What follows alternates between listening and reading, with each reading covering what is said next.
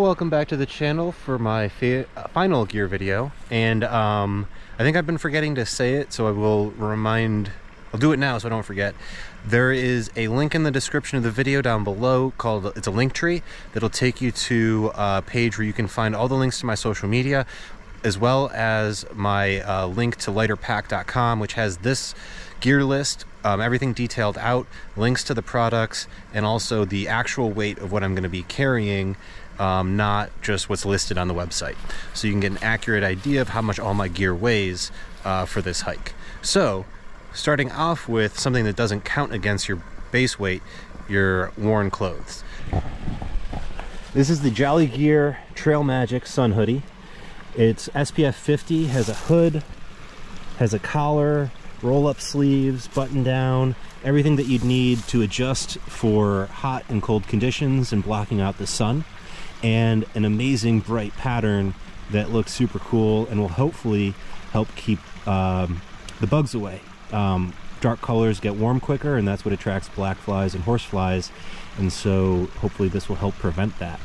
Hiking shorts, I've got the Ramen Bomb hiking shorts, my boxer briefs, and then again keeping on the theme of light bright colors, I've got a new hat that has a white back to help prevent um, attracting more flies. And I had to go with the psychedelic gaiters again because, I mean, it just works. It just works.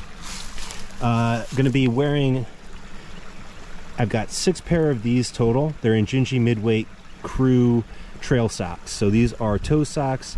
Uh, I only wear these. Most people wear Injinji liners with a darn tough sock on the outside. I find that that doesn't work for me, and so my solution is to just wear those socks, and they work great. Um, and I rotate them out every day. Here I've got a pair of Black Diamond Touch gloves and a Melanzana uh, hard face beanie for when it gets real cold.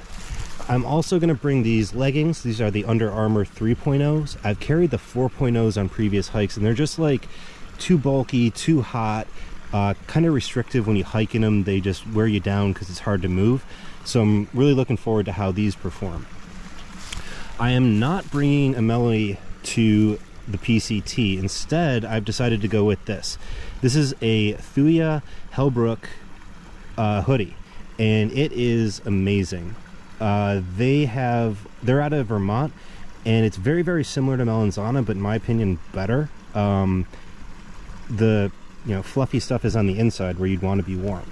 Anyway, this is their light version, which is going to help with packing down and saving space because other, you know, mid layers like this don't really do that. One of the things that I like about it, you can see I'm holding the pocket open. Instead of having a kangaroo pocket across the front, it's got these two little side pockets. And those are a lot better because I'm usually wearing a fanny pack. So if I've got a kangaroo pocket, I can't use it with a fanny pack on. This will, you know, I'm going to have all the options that I need.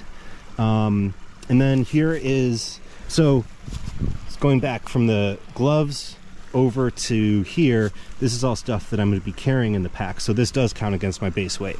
So I've got the backup socks here. I've got a pair of Darn Toughs. And then in this stuff sack is my Arc'teryx uh, puffer. So this is a hooded down jacket that will be a great combination with the rain jacket to um, on very cold days keep dry and warm and um, keep all the heat in.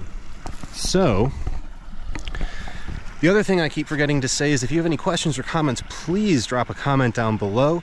And I would love to hear what your thoughts are, how you think do things different. If you have any questions about the gear that I've got, I'm more than happy to answer that. And um, you know, let's uh, let's have a conversation, see what works out for everybody